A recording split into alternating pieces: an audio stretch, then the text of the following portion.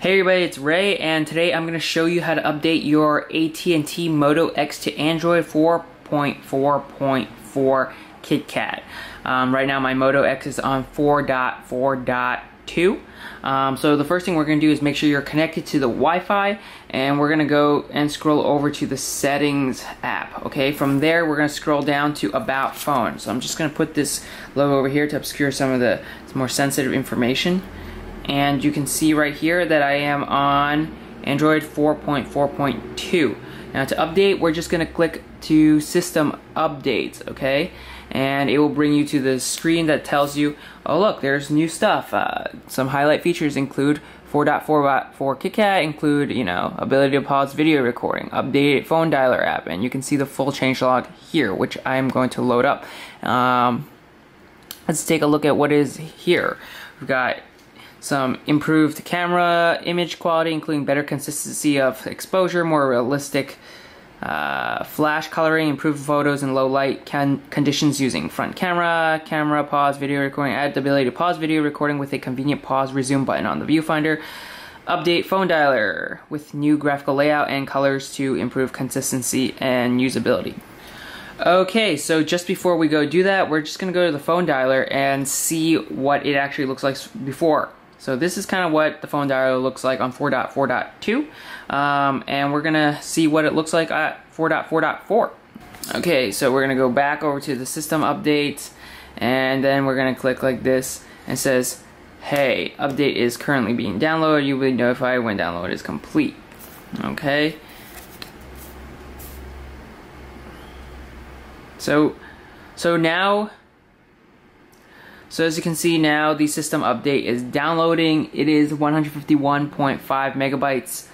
Uh, it's to take about 11 minutes, and I don't know why it's to take so long, but 13 minutes, now it's saying 13 minutes. I don't know why. Maybe I'll turn off some of the Wi-Fi devices in my house and see how it goes. Actually, I think I'm downloading some other stuff like this additional file for Dead Trigger 2 or whatever it is. So we'll check in on it later. Okay, and we're back. The update just finally finished downloading. Uh, it took less than a couple of minutes. Um, so we're just going to hit this and then install now. So you can see that it's going to power off, it's going to install, it's going to do its own thing. Maybe it'll restart a few times. And then we will boot up and be on 4.4.4 KitKat.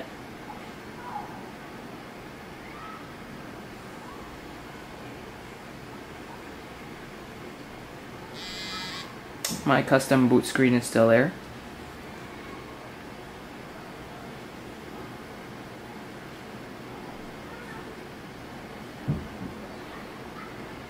And the old familiar Andy the Android with his little updating stomach.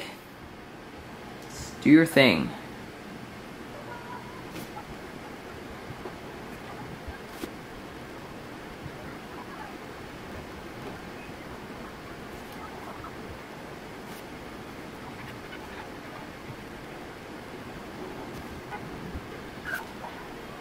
Okay, so we are at the 6 minute and 20 second point, and uh, took a while to install. So make sure you have your charger in your phone because it sucks some battery out.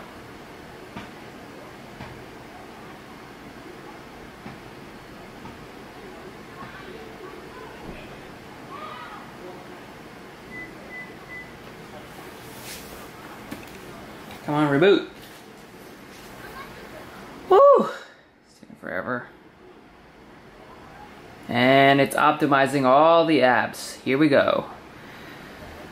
Might be better to not have too many apps installed maybe, if you want to speed this along.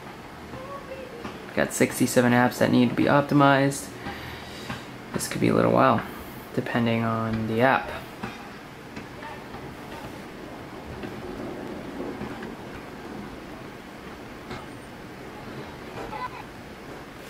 Alright, actually that didn't take so long. So we're almost there, almost there. I guess it skipped through a lot of the crappy apps that don't really need much optimization.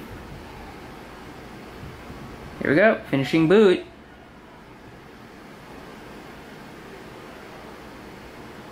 Alright, whew. We are there. And to show you, I'm going to go to the settings. I will scroll down to about phone. And you can see right here, 4.4.4. That is how you update um, your phone, your Moto X to 4.4.4.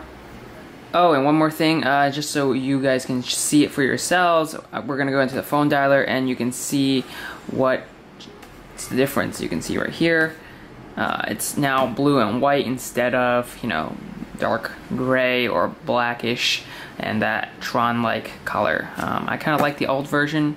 I'm not really liking this new version, but um, I guess Google's trying to create a lighter, brighter, and flatter UI. So that's that.